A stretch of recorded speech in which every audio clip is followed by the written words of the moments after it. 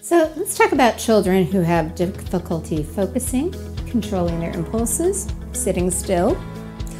I've been there. I know and love that child. That intense energy, lack of focus, and impulse control can be exhausting. And all of these issues can relate to ADD or ADHD. So today I'm going to share some natural remedies that can help you naturally support focus, attention, and impulse control. Hi, I'm Jodi Cohen. I'm the founder of Vibrant Blue Oils, and I've helped over 20,000 people regain their vibrant health through the specific and targeted use of essential oils. And I want to help you start feeling better with less work today. So let's talk about essential oils for ADD and ADHD. Uh, they may be able to help as well as some dietary changes. So I don't know about you, but I took every parenting class on the planet to help with these issues, and nothing seemed to work. My big trick was to point at my nose while directing my child, look at my nose.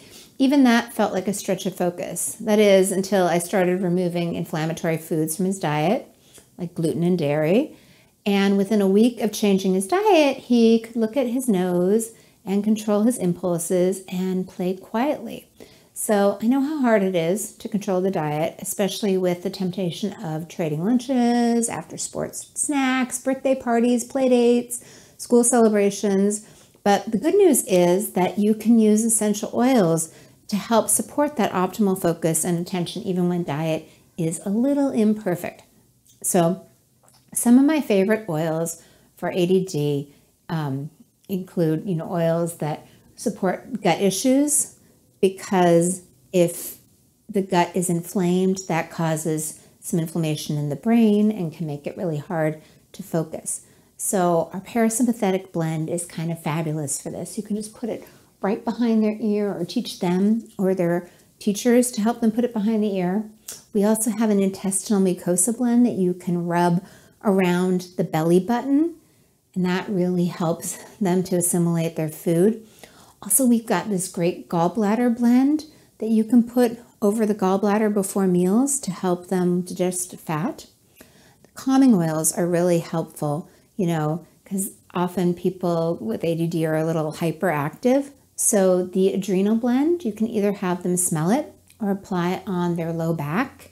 You know, for kids, I always dilute it just a little bit. Uh, if sleep is an issue, we have a circadian rhythm blend that you can help them apply before bed. You just put it top of the head and sides of the ears. And then finally, our calm blend is kind of the fastest, most quickly working blend that you can either smell or apply over your heart. If focus is an issue, you know, in addition to healing the gut and reducing gut inflammation, uh, which helps to reduce brain inflammation, there are some other oils that work really well for focus. We have an attention blend that was specifically formulated for um, ADD, also focus, brain boost, and citrus oils like lemon and orange oil are really great for ADD. Kids are often really intuitive, so if it smells good to them, it will often work well for them. You know, we kind of all crave what we need in our bodies. Like if we're craving chocolate, we might need magnesium, or if we crave meat, we need iron. So kids seem a little bit more connected to that internal guidance. So when in doubt, just let them smell it. Hi, I'm Jodi Cohen, founder of Vibrant Blue Oils. Thank you so much for watching this YouTube video.